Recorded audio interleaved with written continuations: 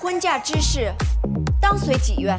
军情紧急，小女婚事容后再。你为什么不等我选出婚嫁之人？就是不想让我嫁给紫檀哥哥。你倒是不傻，把手伸出来。啊这边拉紧，拉紧。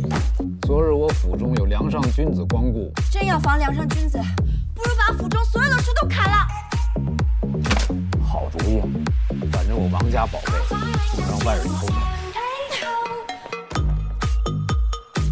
走。舅舅，你救我呀！我有意招你为婿。古有诸葛亮为三顾茅庐，如果我没记错，才是第二次。用女子的婚姻来巩固家族的地位，绝非大丈夫所为。我愿从军。有志气！